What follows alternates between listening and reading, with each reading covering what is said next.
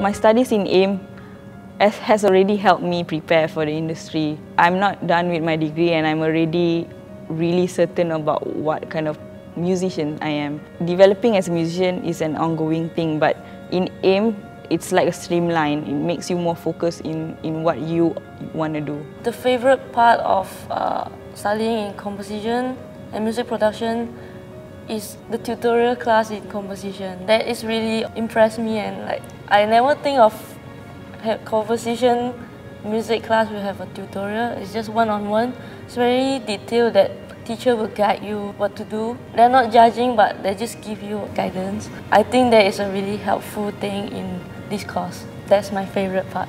My favorite part about studying composition and music production is definitely the connection I made with teachers or students related to the music industry. The real life tips and advice that I get that is worth so much more than the fees that I pay here. That's the, my most favorite part. That helps me in my journey of discovering myself as a musician.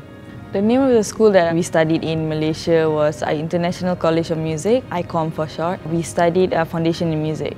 We studied there for almost two years. We decided to come to Australia because we wanted a new environment to be creative in. Teacher in M is very friendly. They are always there to help you even though you have a lot of questions. The teachers at AIM are helpful. They are just there for you. You just need to ask them. They really will help you. And they are in the industry, so it's the best way to get your information. It's worth the money, really it's worth the money to come here because of the connections they have. One of my favorite teacher is Charles Fisher. He is the producer of Savage Garden. I really have fun while having class with him and currently now he is my composition tutor. I really learned a lot from him from the mixing and production section. Even the creative side for composition, he also give me a lot of advice. I really think all of them are useful. Why did I choose AIM over any other music schools? It's because of the location. That's one main reason that I chose AIM over other schools. And the courses that they provide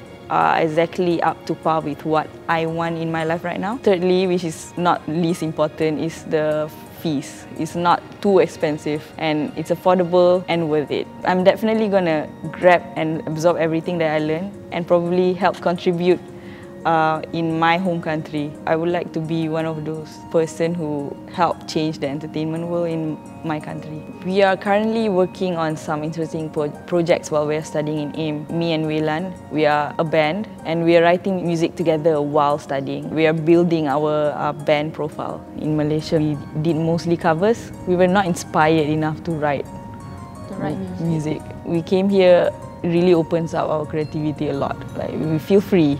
If I have to choose again, I would choose AIM. With what I know now, I would choose AIM again.